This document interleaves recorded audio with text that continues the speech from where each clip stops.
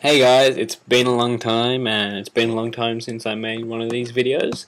Um, it's something different than a gaming video, but just to recap on things, yes, I have been away for a week I think, or I don't know how long, more than a week. But um, just to keep you updated, because I know I haven't updated my website, because you know, like I'm saying again, um, I started university, so you know, have some time, I have less time on my hands, you know, to do these type of things. I do try to make videos, but I don't end up, um, you know, posting them on YouTube. I do have them stored there. So, um, in the next couple of days, if you see this video online, you will see maybe three or four more videos posted up, and some of them will be videos I made like, you know, last year. So, just to keep you on that. Anyways, I've been getting some emails on how do I get good quality in my videos. Well, obviously, I don't have the best quality. You know, when you just watch it straight out, you gotta really click the HD button, and then you get a decent quality in the gaming. But that also depends on the camera you're capturing on. Um, if you're capturing your face, uh, it's better to have some really good lighting on your face. Um, you know, natural light from the sun is the best way, not facing your face, but um, obviously in the backdrop.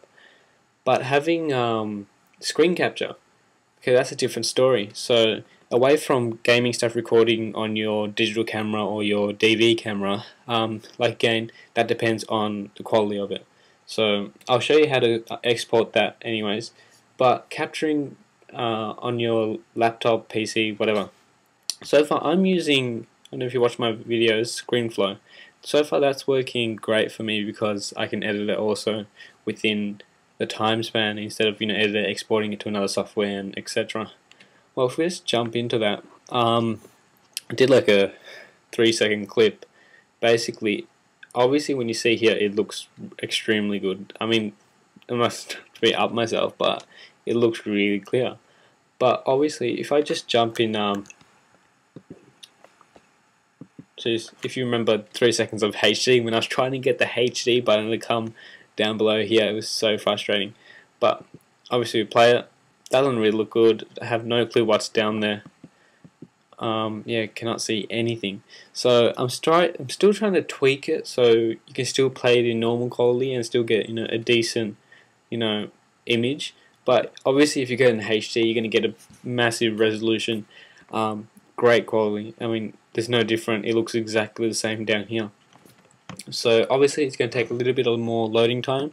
If you don't have a really fast internet, um, it's going to take you, you know, much more. But um, that's the thing you've got to do. So I'm going to teach you how to do this. So we'll just close these. So what we're going to do is we're going to upload something like this, and then you're going to get that HD button there. It's not too complicated, um, but it's pretty easy. So this works basically on anything. I mean, same same settings. Okay, so this is a video also for ScreenFlow because I haven't seen much videos out there basically on ScreenFlow how to get the HD.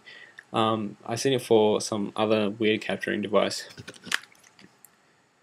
So let's get into this. So now we're going to export this video. So once you do your editing in the ScreenFlow, um, so disable resize it. What am I doing? I just want that in the example, okay? So just click apply and then click export. Once you once you click export, choose your save as name. So we say capture. Oops. Okay, now save desktop. That's probably easiest. Now present. Okay, click on there, and you have all these different options down here. Um, I usually go um, best quality. That's probably the best. So as you see they just changed.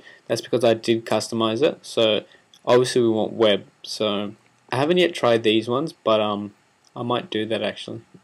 So we'll do customize. Okay, so we'll jump into settings.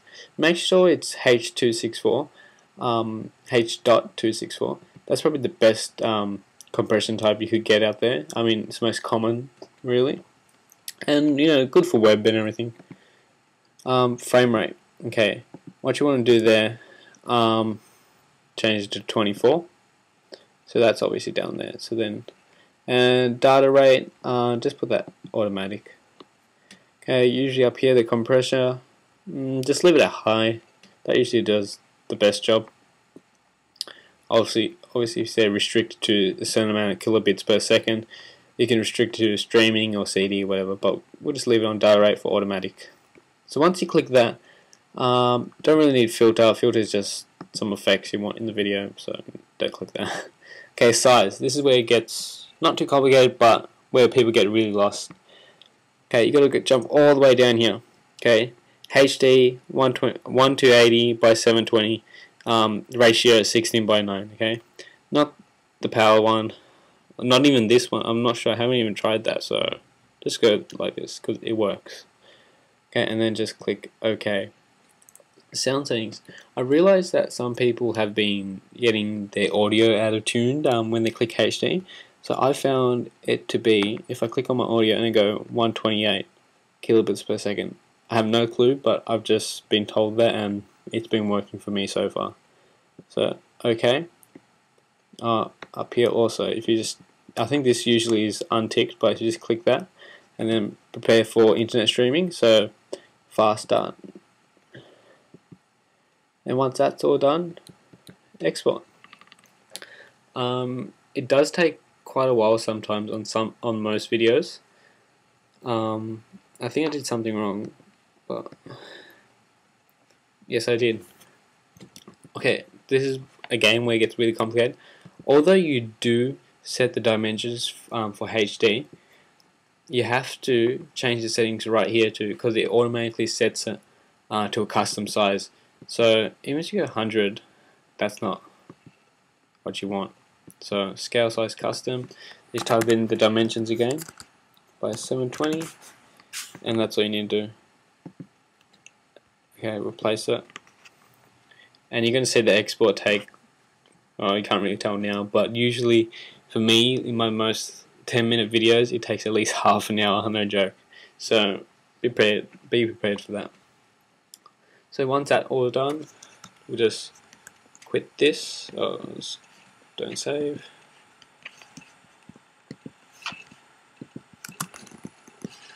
Take a look. So that's pretty good. And that's the exact dimensions, I think. I mean, it's just giving me a decent look. It's not really. Yeah, you can see it's much more bigger because it's set for the um, HD quality. Anyways, so that's how to make a HD video. So remember the three points I'll put on the side. Uh, dimensions is um, one uh, 12080 no, 1280 by 720. Um, the encoding is H.264 and what else? I actually completely forgot. And some other thing I'll put down. And look towards your right.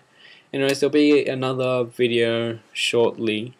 Um, I think I'll link it to this um, on my website. I haven't really explained people about my new website, but we'll check it out.